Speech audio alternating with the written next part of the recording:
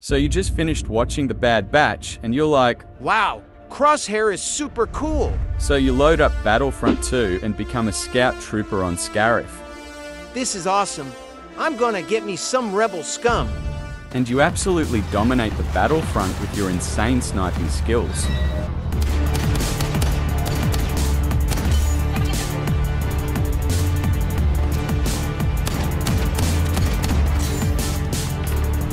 Except there's one problem. This is instant action, and all these rebels are bots.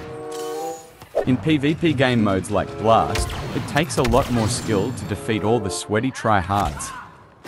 So I will teach you a special sniping technique that can destroy your enemies before they even know where you are.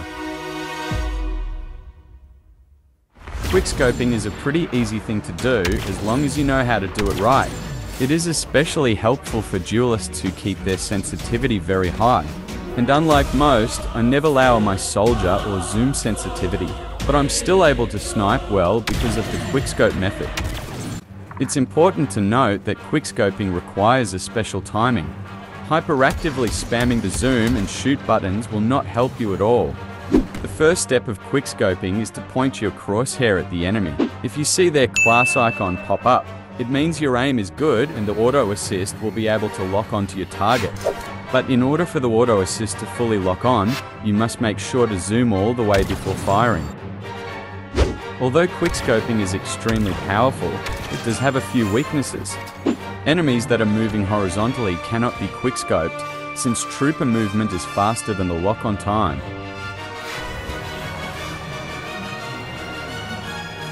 Additionally, enemies that are too close or too far cannot be accurately locked onto.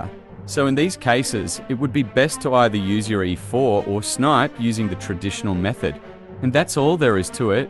If you found this video helpful, consider subscribing. And if you want to know any other special tricks, write it down in the comment section below.